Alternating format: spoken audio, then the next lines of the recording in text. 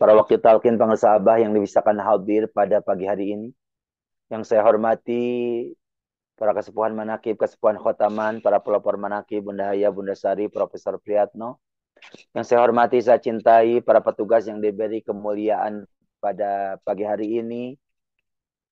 Terkhusus ikhwan akhwat Tori Kokol di anak Sabandi Ahmad Surya Lesinara PPKN terkhusus pemangku manaki pagi hari ini Bunda Haja Epi Rahmawati beserta keluarga besarnya.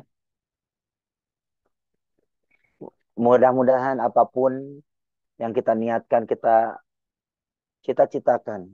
Kalau sampai tadi malam belum Allah ijabah, moga selesai manakib online internasional pagi hari ini, semuanya ada dalam kabul Allah Subhanahu wa taala. Dikahormati pengesabah Allah, radhiyallahu. Al-Fatihah. A'udzu billahi minasyaitonir rajim. Bismillahirrahmanirrahim. Alhamdulillahirabbil alamin arrahmanir rahim maliki yaumiddin. Iyyaka na'budu wa iyyaka nasta'in ihdinas siratal mustaqim. Siratal ladzina an'amta 'alaihim ghairil maghdubi 'alaihim waladdallin. Amin. Jamaah ikhwan akhwat rahimakumullah, puja-puji syukur mari sama-sama kita panjatkan kepada Allah Subhanahu wa taala dengan mengucap alhamdulillahilladzi faddalana ala katsirin min ibadihil mu'minin. Salawat beriring salam semua tetap tercurah terlimpah ruah kepada Habibana wa Nabiyana wa Maulana Muhammad sallallahu alaihi wasallam. Ikhwan akhwat rahimakumullah, alhamdulillah setelah kemarin kita semuanya dibisarkan hadir lahir batin lahir batin di manakib di pusat di sinarasa dan terus kita semuanya melanjutkan aktivitas kita dengan tugas agama dan negara kita. Pagi hari ini kita pun kembali lagi dibisakan untuk mengikuti manakib online internasional. Masya Allah, tabarakallah, itu ya. Kembali Abah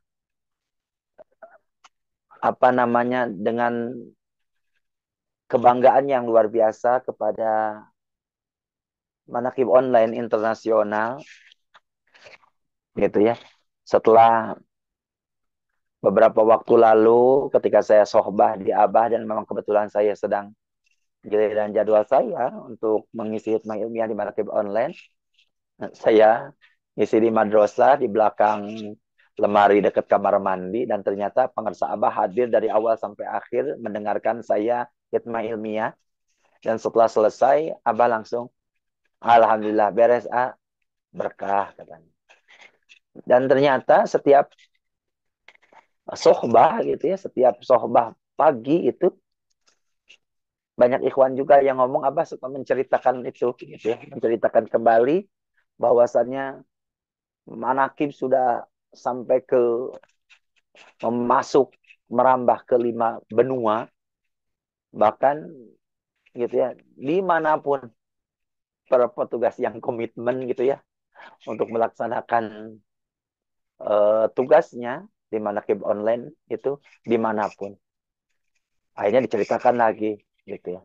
Alhamdulillah. Dan kemarin pun ketika saya bertemu dengan Bunda Haya, ternyata ya Bunda Haya menyampaikan itu lagi kepada saya kebanggaan pengersa Abah.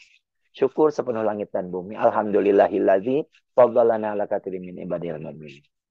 Ikhwan akhwat rahimakumullah kita masih berada di bulan Robi Utsani gitu ya. Pengersa Abah memanai setiap huruf dari setiap bulan dengan luar biasa. Dan mari pagi hari ini kembali kita ngalap berkah, ngambil keberkahan dari hasil karya guru agung kita. Bulan Robi Utsani kalau di uh, apa Jumat yang lalu saya pun sudah menyampaikan beberapa hurufnya. Huruf roknya sudah ar-rain, baknya birrul walidain, yaknya yadullah, ainnya pun kemarin sudah dengan al-ilmu. Gitu. Maka kita lanjutkan. Robi utani ada huruf selanjutnya ro ba ya ain dan sekarang huruf yang kelima ada huruf alif. Dan alifnya ini alif yang pertama, yaitu al-inabah. Masya Allah, Kalau kita ngomongin tentang inabah, pasti kita langsung ingat ke sinarasa bahwa di sinarasa itu ada inabah, idawah putri, gitu ya, idawah putra. Untuk apa itu? Kalau secara global, wah inabah itu ya tempat berobat. Untuk berobat apa? Segala macam, gitu ya. Orang-orang yang jiwanya terguncang, yang kecanduan ini, kecanduan itu banyak hal. Kok kenapa dikasih nama inabah? Ternyata inabah itu ya kembali kepada Allah. Kembali artinya itu. Kembali kepada kepada siapa? Kepada Allah. Ketika seseorang yang tadinya tidak punya apa-apa dan akhirnya punya apa-apa. Ketika punya apa-apa itu diambil lagi sama yang punya apa-apa. Akhirnya dia merasa memiliki selama ini. Jadi nggak ridho tuh. Kalau diambil lagi, akhirnya stres terpuruklah ia. Maka obat solusinya tidak lain. Fafiru ilallah. Harus lari kepada Allah. Dengan cara apa? Kembali kepada Allah. Cara kembalinya kepada Allah. Gimana caranya? Terapinya tidak lain dengan zikir. Dengan zikir kepada Allah subhanahu wa ta'ala. Jangankan yang, oh kayaknya kalau semua ikhwan akhwat diwajibkan untuk masuk inabah, kayaknya inabah di sini ruang inabah penuh, nggak akan kebagian kita. Kalau harus lewat inab semuanya. Kenapa? Karena memang semuanya kita pantas untuk harus kembali kepada Allah. Kenapa? Karena bisa jadi di antara kita banyak orang-orang yang mempunyai penyakit kronis. Penyakit apa? Hatinya. Ya, penyakit hatinya sudah mulai kronis. Iri, dengki, tidak senang melihat orang lain bahagia. Ketika orang lain beli parabola, dia beli paramek. Orang beli kulkas, dia malah yang sesak napas. Orang lain beli motor baru, dia pingsan. Orang lain kebangun rumah, dia suudon. Ah, paling juga uangnya dapat ngepet, uangnya dapat korupsi, uangnya ah, paling miara tuyul. Banyak kayaknya itu kotor. Itu penyakit hati. Kronis itu. Harus dirawat sesungguhnya. Kalau dibiarkan saja. Kenapa? Karena kalau dibiarkan, itu akan menjadi kotoran, jadi hijab, roin. Gitu. Jadi bersyukurlah. Itu dilatih. Dilatih untuk senantiasa mengikis semua itu, belajar untuk kembali kepada Allahnya, terapinya sendiri. Sendiri tidak mampu, karena kita masuk ke melehoi. Kalau zikir sendiri suka melehoi, maka Abah menganjurkan kepada kita untuk datang ke tempat manakiban. Lakukan berjamaah. Amalia berjamaah itu nikmat. Kita jadi kembali kepada Allahnya bareng-bareng dengan semangat.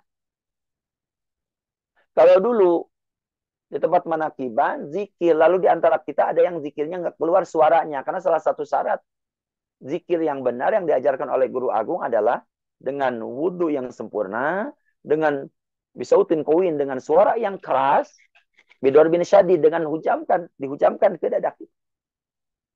Nah, ketika dulu, kalau zikirnya ada di, di antara kiri kanan kita ada zikirnya mau-mau enggak enggak. Nah, ya, ya, nah, ya, mau-mau enggak enggak, melehoi. Maka cara mengingatnya gimana kata Abah?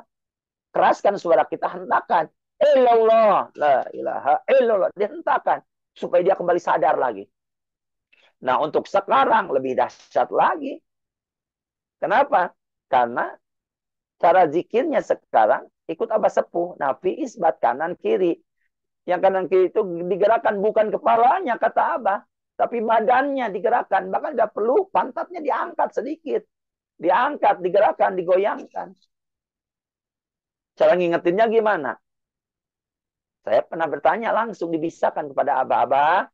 Sekarang kan kalau zikir yang sekarang, nafi isbat. Terus mata kita boleh melihat. Mata kita boleh melotot. Supaya nggak kecopetan. Gitu ya. Lalu ketika namanya melotot, berarti kita ngelihat kiri kanan depan kita. Ada yang zikirnya misalnya ada yang diem aja. Badannya nggak gerak. Gimana Abah? Apa boleh kita toel? Kata saya gitu. Kalau pakai bahasa Sunda, apa kayak ingin digoyingkan? Di toel, goyingkan itu didorong sedikit gitu. Apa? Abah langsung nepuk saya. Kata Abah, ye, sanes digoyingkan tapi disungkrukan. Itu bahasa Sunda. Bukan cuma ditoel tapi didorong, kata Abah. Masa orang lagi kecopetan kelihatan sama kita nggak ditolong? Tolong.